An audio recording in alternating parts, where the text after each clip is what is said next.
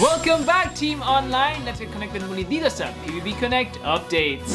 Are you ready to get hooked? Kasi today, the housemates are casting their lines to catch the title of this week's new head of household.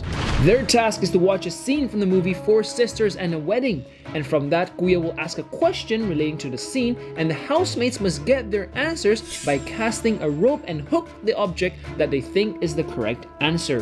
And the fastest housemate to get the correct answer wins. I just want to finish this question. Dito kuya. Oh.